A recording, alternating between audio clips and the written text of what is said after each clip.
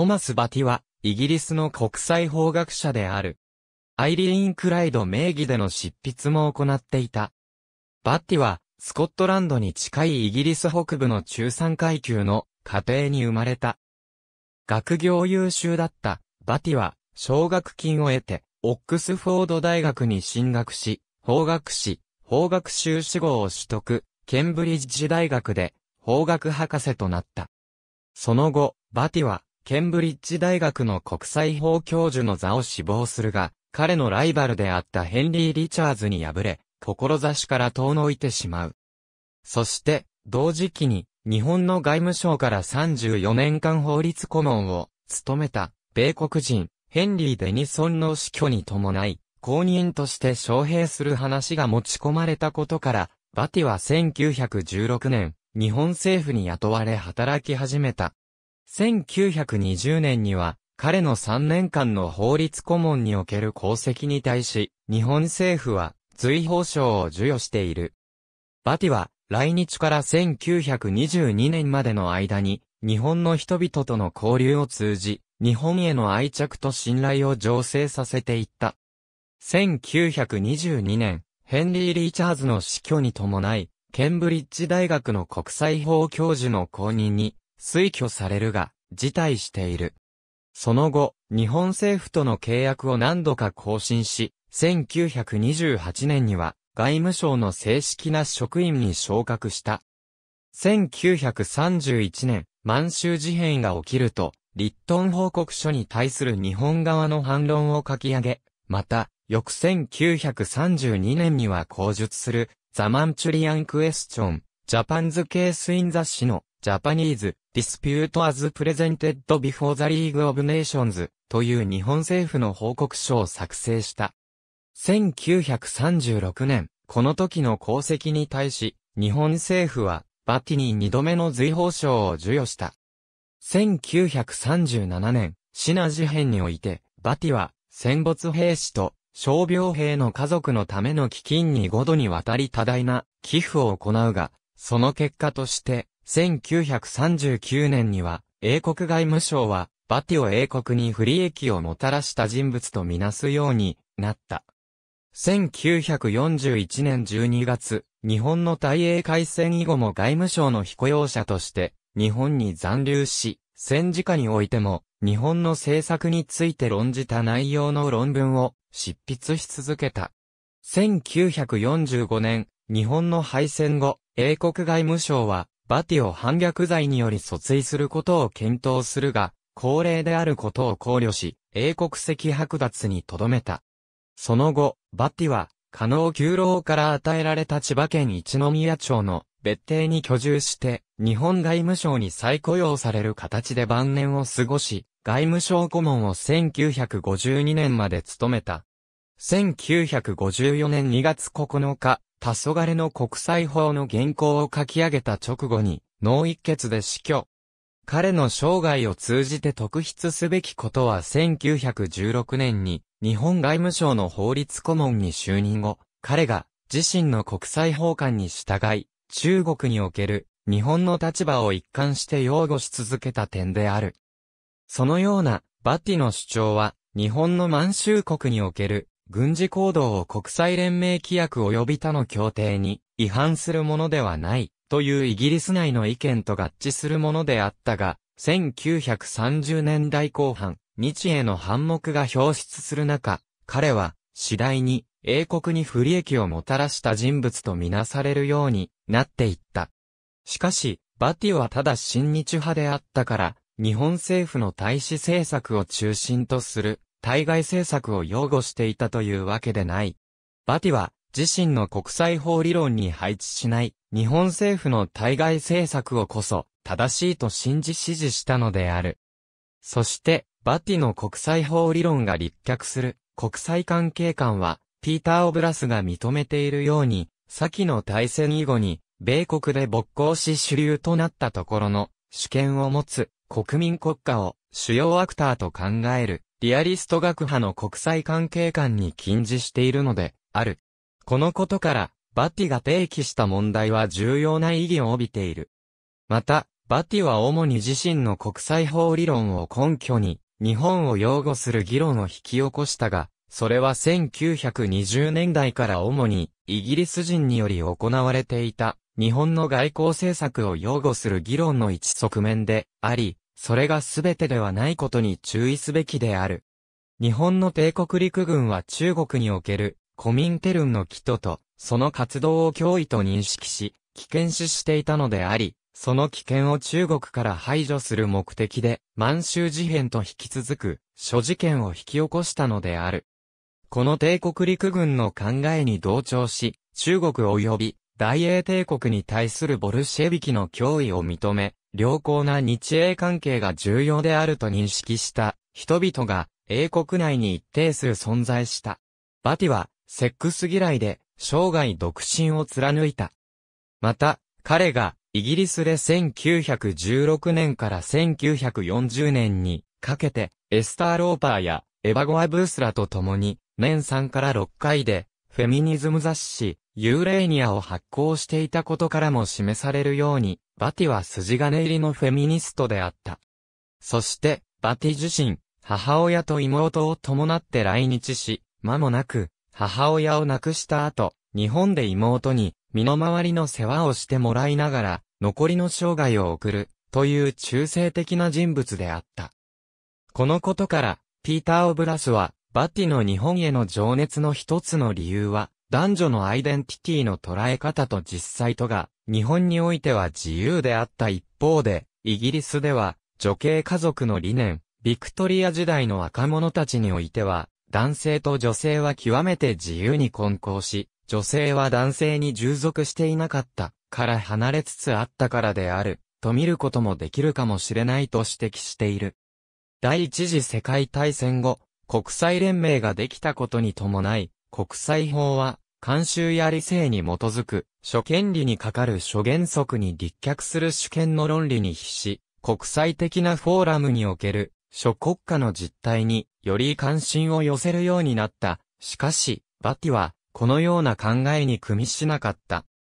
彼は1930年に上司した、ザ・カノンズ・オブ・インターナショナル・ローという著書の中で、あらゆる国際法が抱かなければならない基準として、単純性、確実性、客観性、弾力性の4つを挙げている。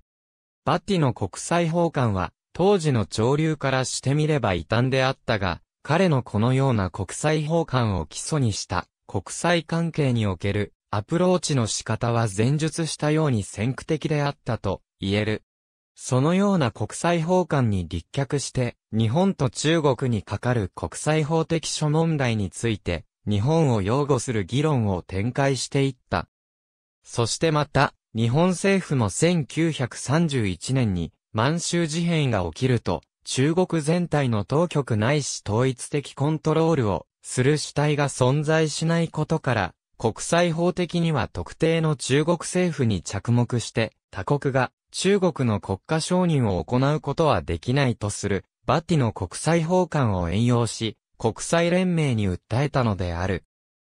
バティは前述した国際法の基準の中で、当時の中国は、記憶と待望の中に存在する地理的表現に過ぎず、主要な政権だけで南京の国民党政権と法天の超作林、軍閥政権の二つがあり、その二者間で内戦が行われていた中にあって、中国の領域は、法的には誰のものでもなく、日本には現地の日本人を保護するために、中国の特定の地域に軍事介入する権利は、元より、欲すればその地域を併合する権利さえあるという論理を展開したが、その論理を日本政府は満州事変に用いた。つまり、日本政府側は、中国は国家としての体を成していないのだから、満州を中国より分離せしめる、日本側の行動は、中国の保全を是認するところの旧カ国条約に、違反するものでもなく、イワンや国際連盟規約や、その他の高級的協定や条約に違反するものではない、と主張した。しかし、リットン報告書は、このような日本側の主張を退けたので、バティは、この報告書に対する日本政府の反論を事実上一人で書き上げることになり、また翌1932年には、日本による満州国の承認が、中国の一体性の保持を謳った1922年の旧カ国条約の違反には当たらないという日本政府の報告書も書き上げた。以上が彼が日本の大使政策を国際法に照らし合わせて論じる、際に用いた、自身の国際法観と国際関係観の概要である。しかし、これは前述したように、当時、日本の対中国政策の是非を問う際に論じられた、ところの法律論的な側面に過ぎないことに、注意しなければならない。これだけでは、なぜバティが日本に対し強いシンパシーを抱いていたのかが、わからないばかりではなく、彼を誤解する危険性が生じてしまうからである。以下における項目は、当時行われていた議論の違う側面に焦点を当てることによって、なぜバティを含む一部のイギリス人が日本の対中政策に共感を示したのかを明らかにした上で、バティの親日的行動の背景を遠曲的に補完するものである。ピーター・オブラスによると、満州事変の際、日本側が援用したバティの国際法観とそれに基づいた主張は、ある一人のジャーナリストによって、英国や米国の指導層に紹介された。そのジャーナリストとは、ニューヨークタイムズとロンドンタイムズの東京特派員、ヒューバイアスである。以下、工事中1930年代初期、英国の体制側の人々は概して、親日的傾向にあった。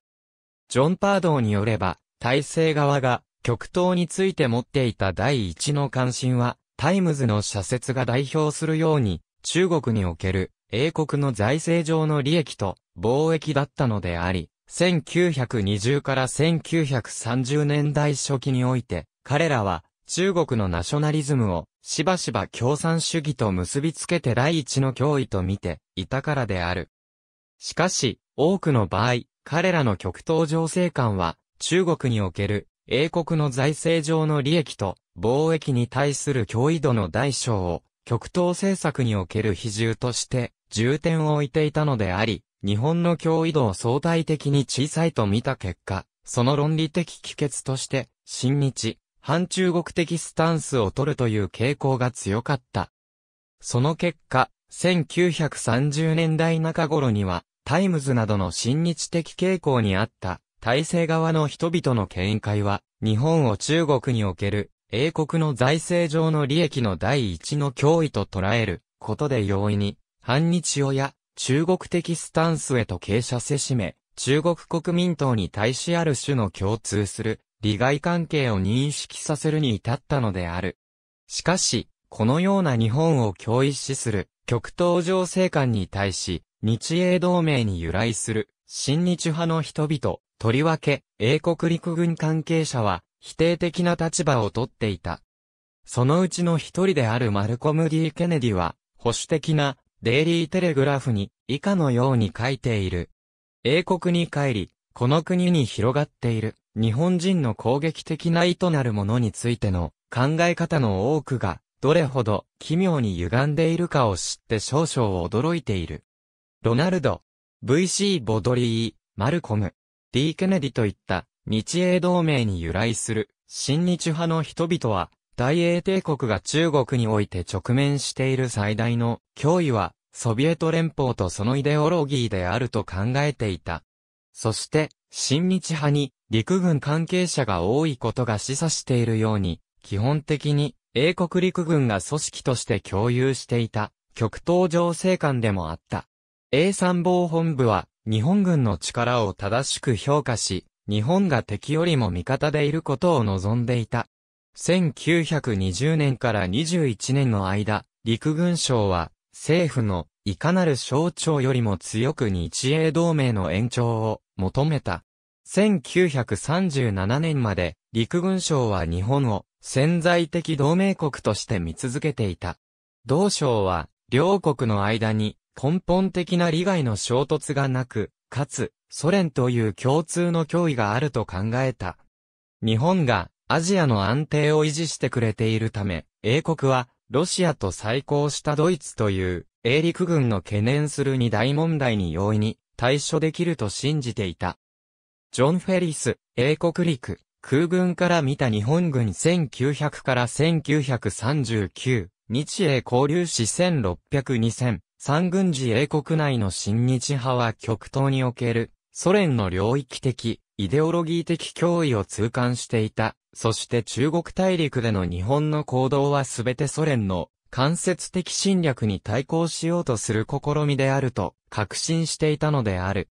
その一人であるロナルド・ボドリーは、1933年に上司した著書、日本のオムレツの中で中国におけるソ連の脅威を認識していない人々の日本への態度に懸念を示している。ヨーロッパやアメリカの政府の態度が問題である。彼らの政策は中国や日本で長く生活した経験を持つ者にとっては分かりにくいのである。ロシアの脅威がある。ロシアの脅威については、私もそうだが、ロシア人が中国内部を移動し、動揺している国民の中に入り込んだり、あるいは訓練の行き届いていない兵士たちの大軍と接触を持つようになるまで、誰も認識できないのである。兵士の大軍は、指導を受け組織されれば、他の世界の者たちと一緒に何だってやってしまうようになるだろう。20世紀の極東の未来を作るにあたって、日本が果たすべき役割は、2000年前に、ローマがヨーロッパ及びアフリカについて持っていた役割と、同様に明白であり、このプロセスによってある、種の苦痛が避けられなかったとしても、最終的な結果中国の非共産主義化は結果、すべての人々にとって、利益となるであろう。ロナルド・ボドリー、日本のオムレツこのような親日派の極東情勢観によれば、日本の対中政策は、ソ連の中国に対する石化浸透戦略に対し、戦略と経済を真剣に考え抜いて行動した結果であり、日本の行動は、ソ連が中国の不安定化につけ込むことを阻止し、アジアにおける共産主義の浸透を封じ込めるチャンスを世界に提供するものだった。親日派の人々は、日本と英国には、中央アジア及び極東におけるソ連の野望に対抗するという共通の利益があると信じ、日本との協調は英帝国の巨視的な利益を擁護するものであると確信していたのである。そして、その一人であるマルコム・ディ・ケネディはこう主張する。日英が対立することは望ましくないどころか、それは英帝国の利益に反することであり、日英間に戦争が起これば、このような戦争から利を得る唯一の国はソ連に違いない。ソ連は資本主義列強がお互いを破壊し合うのを見ながら形成を見守るのである。それから後期を捉えて介入するだろう。アジアをソビエト化するというずっと温めてきた計画を実行に移すのだ。日本はソビエト体制の拡大を阻止する能力と意志がある東アジア唯一の列強である。このように、日本と関わりが深く極東情勢に精通していた人々は、日英間に存在する根本的な問題とは、ソ連とそのイデオロギーであると考え、そして彼らは、ソ連の脅威を強く意識し、日英の提携を望んだ人々であった。彼らは、ソ連の中国での影響拡大を望んでいなかった。タイムズの中国特派員オーウェン・エム・グリーンは、国際連盟とその活動に言及することを避け、満州事変が中国の内政にどのような影響をもたらすのかについて以下のように述べている。全世界にとって特に深刻なのは、急進派、すなわち、ナショナリスト左派の台頭である。この連中は、関東軍に率いられているが、関東軍の最高実力者は、ユージンチェン、チントモヒトで、5年前には、ロシアの手先であるボロディンと密接な関係を持っていたそしてグリーンにとって起こり得る最悪の帰結は中国で共産主義が増大することだった。このような見解を有する人々にとって根本的な問題は日本の政策が国際法に違反しているかどうかということではなかった。どのようにすれば中国での共産主義勢力の浸透、拡大を防ぐかが問題であったのである。そして、1920年代から1930年代にかけて、世界政治における日本の役割に関する報道に大きな腕を振るった英国放送協会のバーノン・バートレットが当時の極東情勢について党の機構は完全な独立国を対象として創設されたので政府の統制が遠く離れた省にはまるで及んでいない中国のような国を問題にするにはあまりにも硬直的で対応のしようがないことがあり得ると述べたように、このような中国にどのように対処をすればいいのかが問題であった。